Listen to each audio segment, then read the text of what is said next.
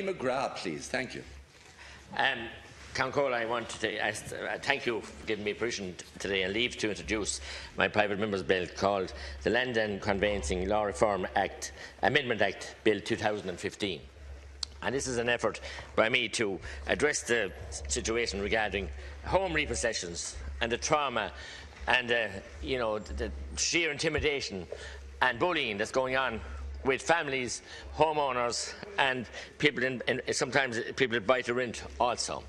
It's going on now for about six or seven years since the onset of the um, financial crash.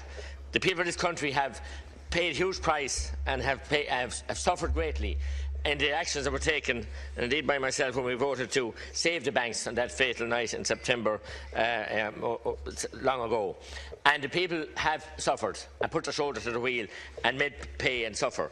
And I think now it's time that this House here and the Department of Finance and the ECB failed to do it, put some restrictions on uh, banks and financial institutions to understand you know, what it is and the trauma that they're visiting on people uh, in their homes, families to uh, pressure, financial pressure causing, leading to stress, leading to ill health, leading to uh, marital um, distress and separations, all kinds of, of a uh, litany of effects that it can have on people who, in good faith, borrowed to put a roof over their heads, went out, took the risk, got planning in many cases, or bought houses, paid their planning fees, paid the builders, paid all the legal solicitors and, and uh, accountants, and indeed planning consultants, and owned their own home, and were doing fine uh, paying for them as they intended to repay their mortgage when it was signed up for, until the financial uh, crisis hit and many of them were made unemployed to no fault of their own, or some private people who were in business lost their total business, couldn't get any social welfare supports or, else, or, or otherwise supports, and they faced an awful trauma. Uh, the banks uh, then were, for a while were uh, perplexed and were slow enough, but uh, repossession started to happen very, very quickly. Then we saw where uh, Mrs. Justice Dunne and I, Elizabeth Dunne and I salute her, in 2012 uh, found a loophole, as, as, is her duty as the judges are to find in, in, in this situation, and um, stopped the banks and financial institutions on their tracks completely with one uh, judgment. And very good, because the courts are meant to be uh, fair and free and uh, to protect the citizens under the law as well as uh, everybody else. Uh, but the government, uh, for whatever reason, I don't know, introduced, and you all voted for it here, and it described it as the, the, the Land and Conveyancing Act in 2013. And it was, uh, in spite of the nice uh, words it was couched in, it was dressed up as um, support for families and Land and Conveyancing Act 2013. A docile enough name, but behind the name and beneath the name, it was really uh, a shorter word would have described that bill. I used the word in this House to describe that bill.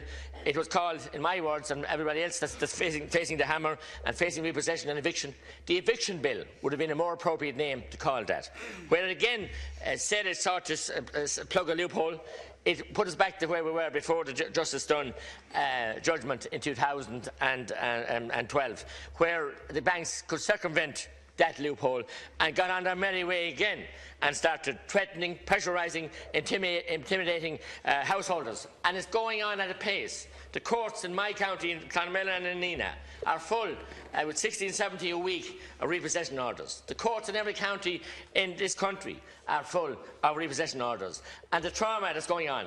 And beneath that all is a murky business of receivers and of banks selling on uh, properties that are repossessed for a minimal figure only to make handsome profits for somebody else make handsome profits weeks if not days then weeks and months later. And it's a murky, murky business. And I'm just calling and asking the government not to oppose this bill, to accept it and deal with it at this 99th hour in their five-year tenure, after getting that mandate some five years ago, to give some sustenance to the homeowners to the frightened people and to give them some situation where they can have legal, uh, uh, legal supports and they can fight a case legally uh, because many of them can't afford it. And I salute the groups out there that are supporting families and the individuals, lending. And I thank um, uh, Barrister David Langer for uh, Langwallner for supporting me in putting this bill together. Thank and you. it's very, very needed. And I appeal to you, Minister Howlin, as a member of the Labour Party, founded in my own town of Clonmel back all those 100 years ago, to be compassionate and You're I, am almost finished, Overtime. and to please um, redress this situation and remove that Land and Conveyancing Act Thank and you. accept my private member's bill. Is Thank the bill you. being opposed? Not opposed. I declare the motion for leave to introduce agreed. Since this is a private member's bill, Second stage must under standing orders be taken in private members' time. I'd ask the Deputy to move that the second stage be taken. I move the second stage Is that be agreed? Taken. Agreed.